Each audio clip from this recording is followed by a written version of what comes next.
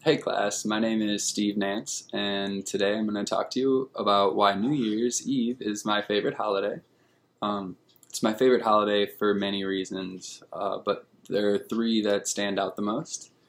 Number one is my family always watches the ball drop together. This uh, is actually a picture of my family last year together. This is my grandmother, my great grandpa, my grandpa, my mom, my dad, and a bunch of my cousins.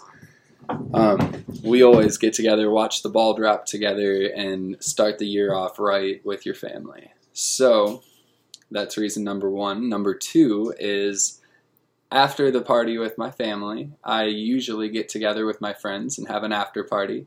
And that's a great time to catch up on what my friends have been doing and get to kind of tell them what's been going on in my life since I live a thousand miles away now. And don't see them very often.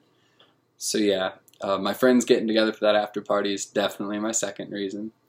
Uh, my third favorite thing is, and it's probably the biggest thing, is hope, progress, and change are what people care about during New Year's Eve. Everyone kind of lets the year go and focuses on whether they want to get in shape, focus on whether they want to move, get that new job, start a new relationship. Everyone is eager for change, and change is awesome. So, um, yeah, again, my three favorite reasons I like New Year's are my family always watches the ball drop together, my friends and I usually have an after party, and hope, progress, and change are the focus. So get out there, hang out with your families, hang out with your friends, make some goals, and enjoy your New Year's coming up in a few months. Thanks, guys.